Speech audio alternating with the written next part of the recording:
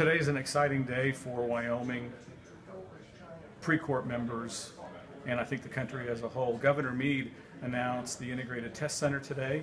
He announced um, that it would be at the Dry Fork Station.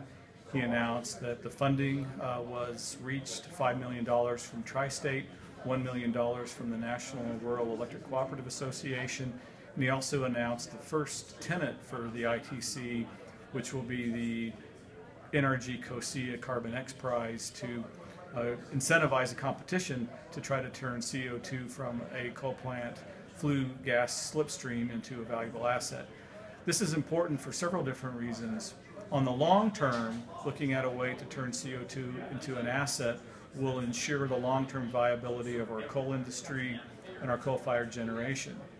In the midterm, accelerating the research into carbon capture will produce the CO2 product that Wyoming will be able to use for enhanced oil recovery, which is a very important industry for Wyoming as well.